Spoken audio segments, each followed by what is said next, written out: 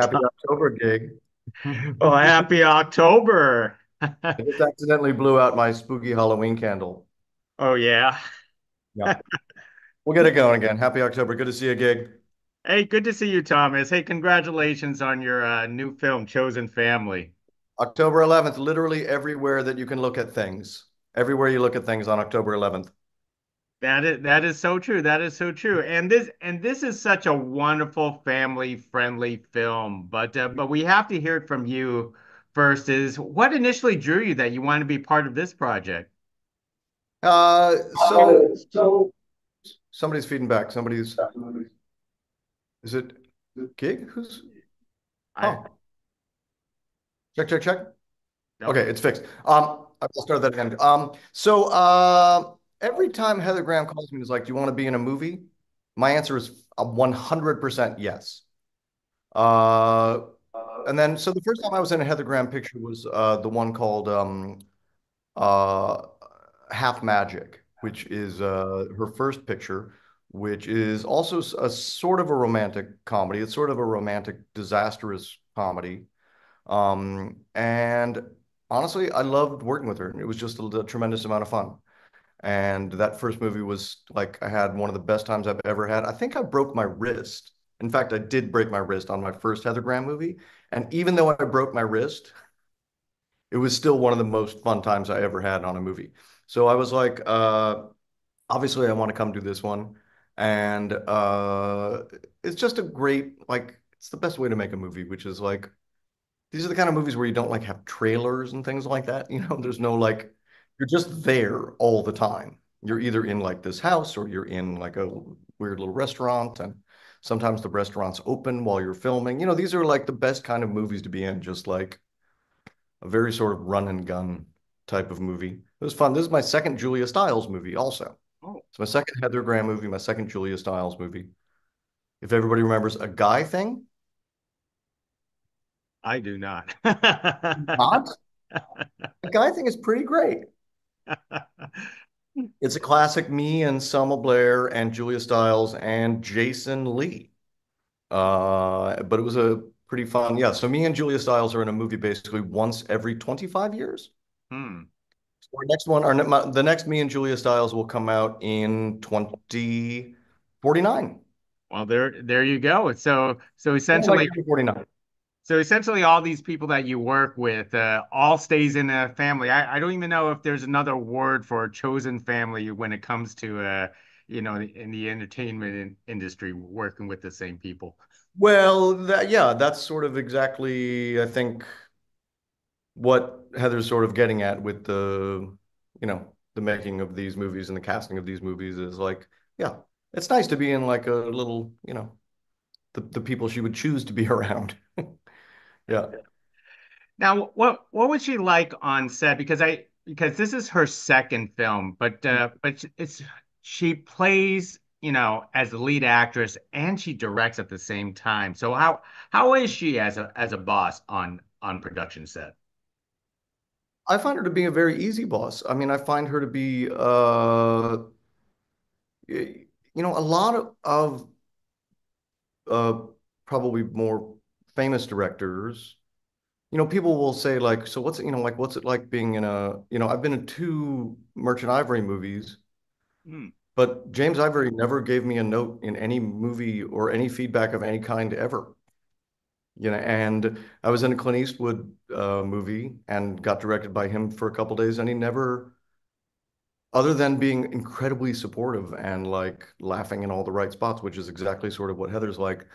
Oftentimes, and in a Christopher Nolan movie, you don't, no one comes in and tells you like, here's how to do this. It's it's sort of a- assumed that you're there because you're going to do it in a way that that they had in mind already, and that you're not going to like, you know, ruin what they're doing. So, uh, no, I find it's a very like I have a very breezy relationship with Heather on set, and it's always like a good place to improvise and just like it feels like a super supportive kind of place to be to, you know, get to be fun and funny. And I, you know, I'm slightly more of a, a, a probably a slightly more cartoonish actor, and when I'm in her movies, I I have to be a bit more grounded probably, mm-hmm. but otherwise it's just they're a fun, they're a very fun sort of thing to work on, you know.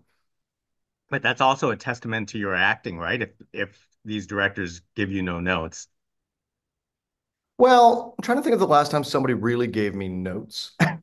It's just like it just isn't a thing that really comes up that much. Wait, who somebody must have, right? Like somebody must have. I don't know. I made Clint Eastwood laugh real hard one time. No, Nolan's never given me a note. Oh no, one time Christopher Nolan told me to stop. Me and Stephen Tobolowsky were uh, just like cracking each other up in Memento, which is not really the vibe of Memento. Hmm. At one point, he asked me and Tobolowsky, he's like, "Okay, if you go, if you two could sort of calm down," because we were just like kind of I don't know what we were doing, but we were sort of we had the giggles in Memento. Well, you know, Um, it's probably just the last like great note. And then maybe one time Terrence Malick told me to make sure that the camera could never see me very well, hmm. Which was, I thought, an interesting note. He's like, make sure it's very hard for the camera to see you and don't ever be straight, flat towards the camera. I was like, okay. Seems like I'm going to hardly be in the movie then when this comes out. And the answer was I was hardly in the movie when it came out. Now, um, how relatable is the character Max to you? You know, him being, uh, I want to say a foodie and a restaurateur. Um, in a lot of different ways. I mean, it's interesting. Uh, I'm not I'm not really a foodie per se.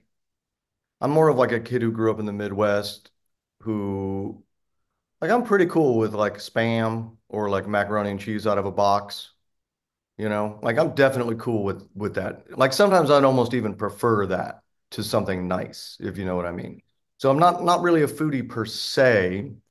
It was pretty neat. Um, my the, my wife in the film is Odessa Rae, who has an Academy Award. Um, she uh she made the the movie Navalny, which is pretty amazing. So it's like it's interesting. It's something it's interesting, like to, to for a rom-com like this. Like there's Heather, who's been in everything that Heather's been in and directed, and then Odessa Rae, who is has an Academy Award for Navalny. And then these days, I'm mostly a, really a novelist. Uh, so it's like it's just interesting to like what who's coming together to make a movie like this. Well, Um, that's that that's how uh, these uh, independent movies are actually made. It's it's you know it's uh, blood and tears and you know fam family uh, like yourselves. If you don't think this is an independent movie, you should have seen the airport ho hotel that we stayed at while we were making it because it was terrible. Oh, it was so bad. Woo. Yeah. It just was like, it felt like indie, like beyond indie. Yeah. Well, Thomas, let, let me uh, wrap it up. Uh, I want to circle back to something that you brought up is I, I Mhm. want to know how does a person like yourself get injured on a romantic comedy that probably Oh, has no stunts?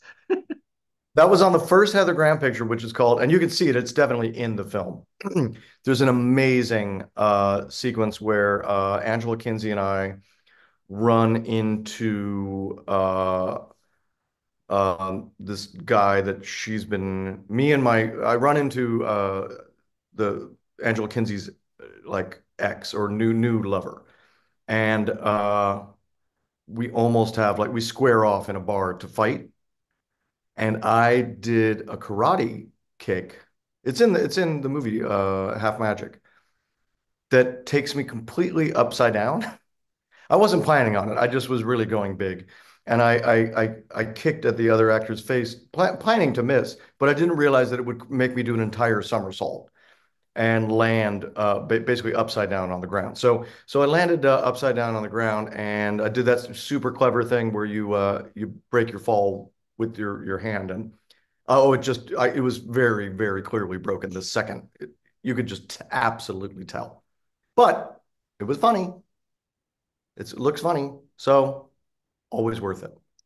Well, you know what? Anything for your craft and art, Thomas. I really We're calling it craft. I love it. Thomas, thank you very much uh, for carrying this conversation um, f with us about Chosen Family. Everyone needs to check it out on October 11th everywhere. Thank you. Thank speak you. with you.